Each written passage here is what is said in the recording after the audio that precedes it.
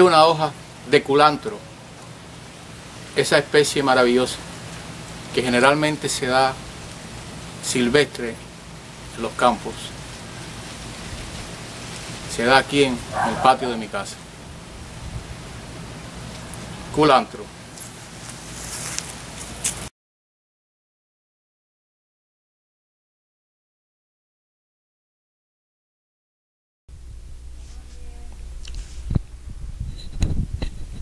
Vamos a hablar de el segundo debate presidencial en los Estados Unidos. Noviembre, 6 de noviembre del 2012. Entre el candidato aspirante a la presidencia de los Estados Unidos, gobernador Mitt Romney, y el actual presidente de los Estados Unidos, Barack Hussein Obama. Siempre he sostenido que estas elecciones, más que una elección presidencial para ocupar por cuatro años, la Casa Blanca va a ser un referéndum donde los ciudadanos de este país, Estados Unidos, tendrán que decidir, tendrán que determinar si votan por la tradición, la constitución, la república, o si votan por el socialismo global. También he sostenido que eh, este fenómeno de Barack Hussein Obama en la Casa Blanca, durante el tiempo que ha estado, ha perfilado más que un gobierno democrático, en la mejor tradición de los Estados Unidos, ha planteado una revolución con todas sus características y consecuencias. Por tanto, esta justa eleccionaria no se puede ni pensar, ni medir, ni realizar como las otras anteriores. Esto es totalmente diferente y el pueblo americano tendrá la responsabilidad de determinar su destino futuro, de un lado o de otro. Cuando digo revolución, revolucionarios, cuando digo globalismo, el, el globalismo actual es lo que fue en el pasado la revolución proletaria. Ese proyecto globalista de cuando la revolución proletaria,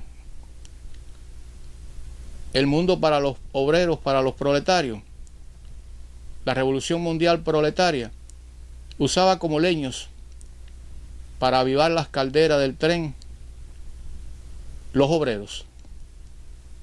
Este globalismo actual usa como leños las etnias en gran porción.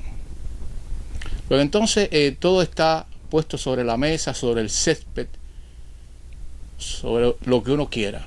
Y tendremos que decidir y escoger. El debate presidencial de anoche. Yo nunca estuve muy eh, identificado con la personalidad política intelectual, personal de Mitt Romney. Prefería a alguien como Gingrich, que era un intelectual como es Pat Buchanan, y, anhelé que en la Casa Blanca existiera, firmando ahí sobre ese buró de Lincoln, de los padres de la patria, un intelectual. Porque desde Truman hasta Obama todavía no ha habido un presidente de los Estados Unidos que provenga de la cantera intelectual. Y cuando digo intelectual, intelectual de verdad, no de los bulevares, no de los esnovistas de los bulevares. Pero la realidad es otra. El candidato por el Partido Republicano es Mitt Romney. Yo, ante el fiasco de McCain, como un arrebato de de desacuerdo, me hice independiente. Y creo que como yo hay muchas personas. Ahora bien, se ha hablado mucho de, Obama durante estos cuatro años, pero vamos a hablar de este debate donde vi un Mitt Romney, aunque no lo es todavía, en camino a ser un estadista.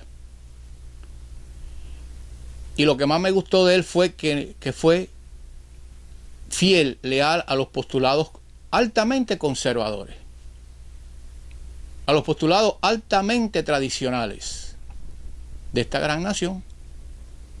Y no tuvo empacho, no tuvo menos de no recurrir a lo que hacen los políticos cuando, para quedar bien, políticamente correcto, recurren al pragmatismo. Pragmatismo que no es otra cosa que cálculo, eh, eh, maquinación, estrategia, hipocresía. Y vamos a hablar de tres eh, temas, o de cuatro, no sé, déjame ver, vamos a empezar. Cuando Barack Hussein Obama lo llevó a definiciones con relación, por ejemplo, a las armas. Eh, hay un movimiento de restringir las armas que se venden en los Estados Unidos. Hay un movimiento para que los Estados Unidos se desarmen, como ocurre en otras sociedades. Yo vengo de Cuba, de un país donde eh, el ciudadano no puede tener armas. La tiene el ejército, la tiene la policía política, la tiene la seguridad del Estado, pero el ciudadano no puede tener armas. Y me imagino que en otros países también. Pero en Estados Unidos hay un mandato de los padres de la patria y de la Constitución americana que dice muy claramente que el ciudadano americano tiene derecho a tener un arma para en un momento dado crear milicias en defensa de ellos frente al gobierno, frente al gobierno. Por tanto, es un mandato que cada ciudadano americano tenga su arma para defenderse.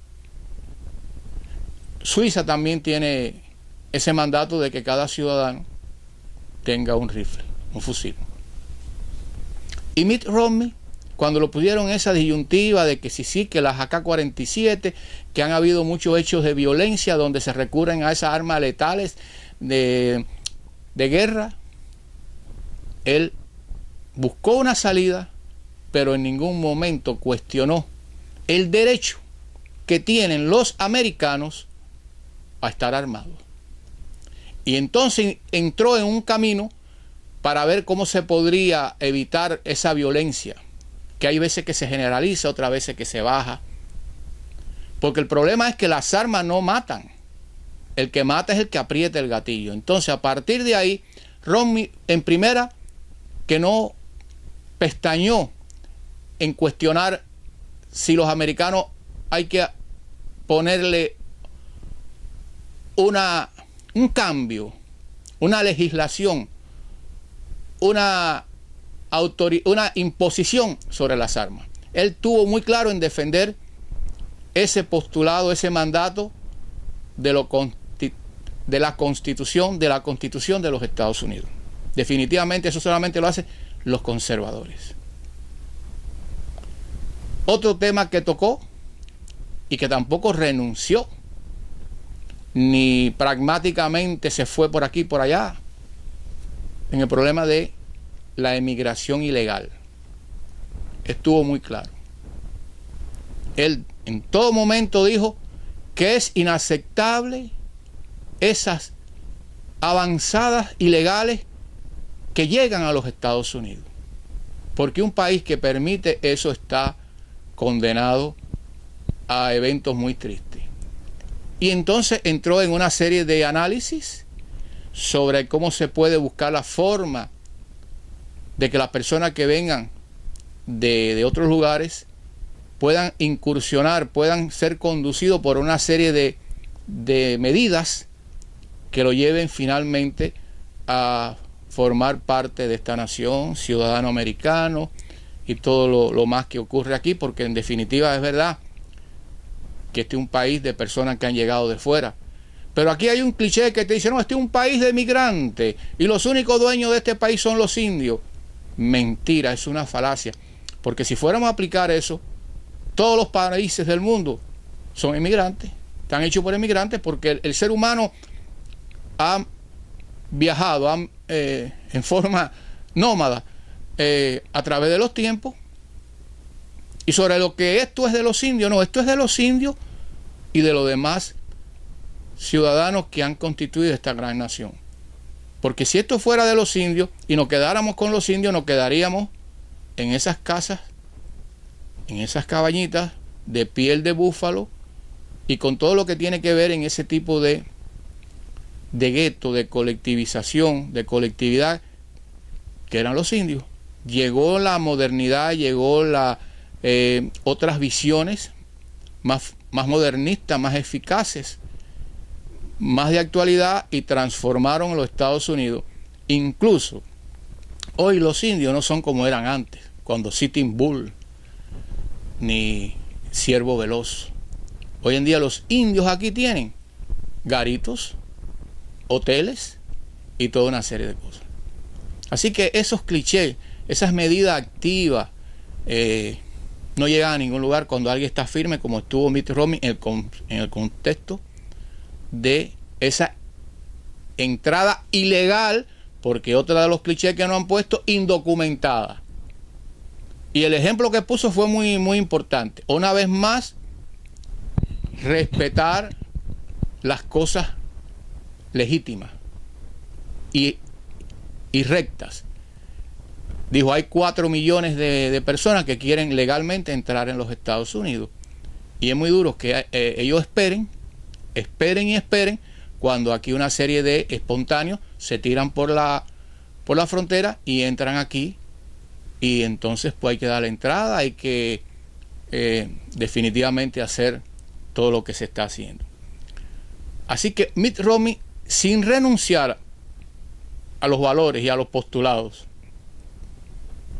de, esta nación plantea soluciones, medidas y fórmulas para ir enfrentando los problemas. Cuando lo pusieron, cuando Barack Hussein Obama tocó el tema este muy manido de la mujer, de la mujer, y Obama habló de anticonceptivos, facilitárselo a las mujeres, él dijo algo que me gustó también, que viene también de la profundidad del conservadurismo, de la tradición, de los valores morales y tradicionales. No podemos permitir que los burócratas en Washington determinen lo que tiene que hacer la mujer con relación a los anticonceptivos y otras cosas.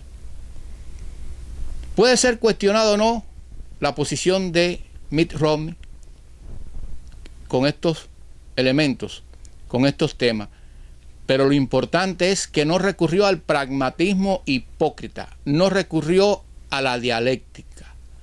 Fue firme en los futulados y valores tradicionales de este país y por eso me encanta la participación que estuvo. En mi opinión, ganó el debate. Quiero decir que ambos eh, debatientes demostraron estar bien preparados muy buenos oradores, cada quien con su estilo. Pudiera decirse que fue un choque de, gran altura, de cuarto bates. Pero vuelvo y repito, aquí no es un problema de quién ganó, quién perdió, de qué, de qué lado de los Estados Unidos vamos a estar. De un lado, la tradición, la república, la constitución y del otro lado el socialismo global. Tan sencillo como eso. Sobre el tema del comercio exterior, yo creo que Miss Romy dio cátedra de, de los altos conocimientos y lo cómodo que se siente hablando de esos temas. Pero me voy a referir más bien a, en un momento dado a, algo que dijo Romney, que no se lo he escuchado a muchos líderes en estos tiempos, donde se airió, donde le fue para arriba a los chinos. Y le dijo que eran unos descarados y dijo que eran unos manipuladores que robaban este, eh, eh, eh, inventos de aquí de este país, que cuestionaban una serie de entidades privadas y particulares y hacían, por ejemplo, una estación de Google en un lugar de, de China. Dijo, le dijo horrores a los chinos. Que no todo el mundo se atreve a eso. En un momento dado Obama volvió porque siempre planteaba la lucha de clase como buen socialista que es. Y Romney siempre firme, pero muy firme, que a los, al 2% ese de los grandes millonarios él no le iba a bajar del los impuestos.